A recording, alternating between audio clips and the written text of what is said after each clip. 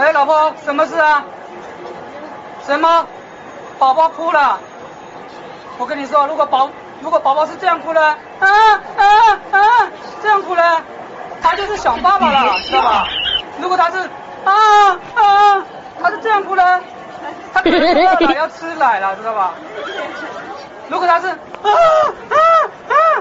如果他是这样哭呢，他可能是去尿尿裤子了，知道吧？你别笑。我说你啊，这么大的一个人了，连个小孩子都不会带。等我回去吧，啊，我马上到家了啊，嗯，就这样，嗯，拜拜。这你别笑。